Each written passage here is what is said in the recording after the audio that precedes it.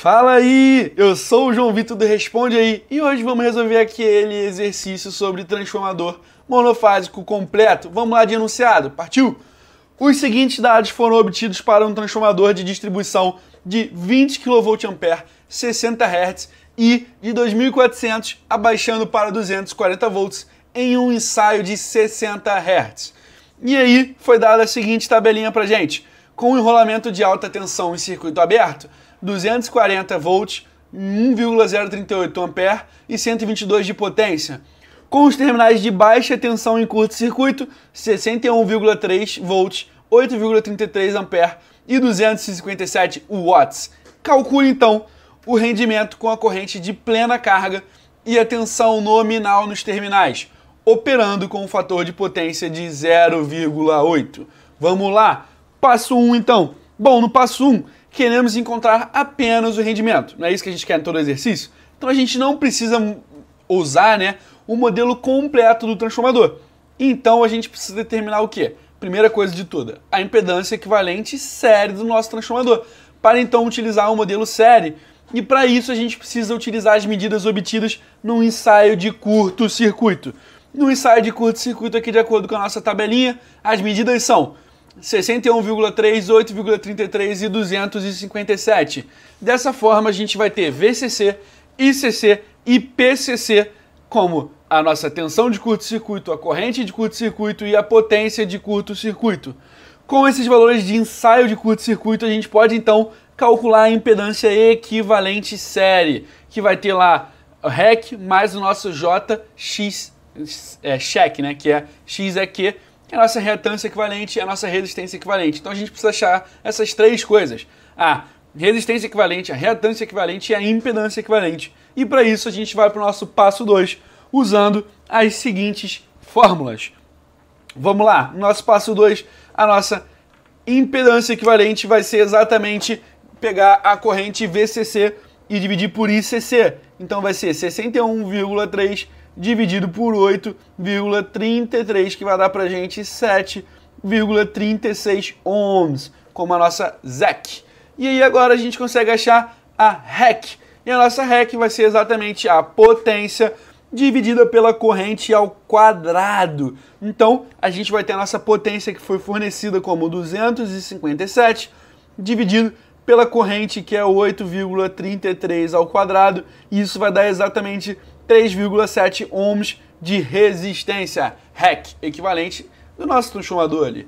E para fechar, a gente acha a check, que é a nossa reatância equivalente, que é exatamente a raiz quadrada de ZEC ao quadrado menos REC ao quadrado, que vai dar para gente a raiz quadrada de 7,36 ao quadrado menos 3,7 ao quadrado também. Beleza? E isso daqui vai dar para gente 6,36 ohms. Bom, a nossa ZEC ela pode ser escrita como 7,36. Entretanto, a gente escreve ela usando a REC e a XSEC. E aí, essa é a parte real, essa é a parte imaginária. Ela vai ficar escrita dessa forma aqui, ó. 3,7 mais J 6,36. Então esse é o valor que a gente usa aqui como a nossa impedância equivalente. Agora, o nosso passo 3 é achar, então, nosso rendimento. E aí, para calcular nosso rendimento, a gente usa a fórmula. P de saída dividido por P de entrada. Isso tudo vezes 100, né? Porque a gente quer isso em porcentagem. E aí, como que a gente faz para usar essas expressões? Primeiro de tudo, que a potência de entrada ela tem que ser igual à potência de saída mais a potência de perdas. Como então eu faço para achar a potência de saída, João? A potência de saída, ela vai ser exatamente o que? S vezes o fator de potência. Dessa forma, esse S é 20, que ele, ele foi dado, e o nosso fator de potência também foi dado, 0,8. Isso é igual a 16 kW. Então a gente tem aí a nossa potência de saída. Bom, mas a gente tem a potência de saída, a gente ainda precisa da nossa potência de entrada. E aí vale lembrar a potência de entrada é a potência de saída, mais a potência de perdas. Então a gente precisa achar agora a potência de perdas. E a potência de perdas ela vai ser exatamente o quê? Igual a potência do enrolamento mais a potência do núcleo. Então o nosso primeiro passo aqui dentro dessa expressão é achar a potência do núcleo. E aí, achando essa potência do núcleo, ela vai ser igual à potência, à potência CA, que é igual a 122 volts, watts, perdão. E o que, que significa essa potência CA, João? Bom, a potência CA é aquela potência lá quando a gente tem um enrolamento de alta tensão com circuito aberto. CA significa o circuito aberto. E essa é exatamente a potência do nosso núcleo, beleza? Bom, agora então vamos para o nosso passo 4, que é achar a potência de enrolamento. Porque se a gente já achou a potência do núcleo, o que falta é a potência de enrolamento, lembra? A gente quer a potência de perdas, já achou do núcleo, falta de enrolamento. E a potência de enrolamento, ela é o quê? REC vezes I de 1 elevado ao quadrado. Só que a gente precisa o quê? Encontrar o I, já que no enunciado ele diz que essa corrente é a corrente de plena carga. E, e a tensão ela é a tensão nominal. Logo, então, a gente pode dizer que o I1 ele vai ser esse S, que é a nossa potência I, dividido por V, e aí esse V é a nossa tensão nominal. E aí a gente tem esse valor de tensão nominal, que é a tensão do enrolamento primário, que é 2.400. E aí a gente faz 20 vezes 10 ao cubo, porque a gente tinha ali quilo, dividido por 2.400. Então esse I1 ele vai ser, na verdade, 8,33 amperes. Agora que a gente já sabe 1, a gente consegue achar o P de enrolamento? Consegue, né? Vai ser 3,7 vezes 8,33 elevado ao quadrado. Então a nossa potência de enrolamentos vai ser igual a 256,7 watts. Então a gente vai ter esse como valor de potência de enrolamento.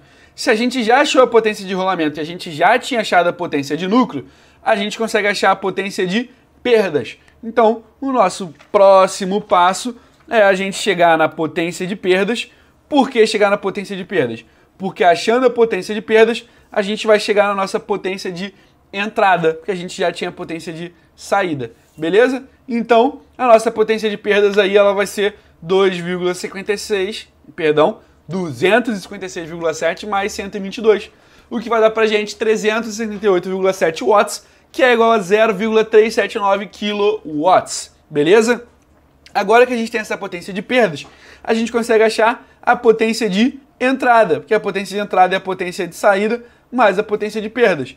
Dessa forma, a gente vai achar a potência de entrada aqui. A potência de entrada vai ser 16 mais 0,379 isso tudo em kilowatts. Então a potência de entrada no nosso circuito vai ser 16,379 kilowatts.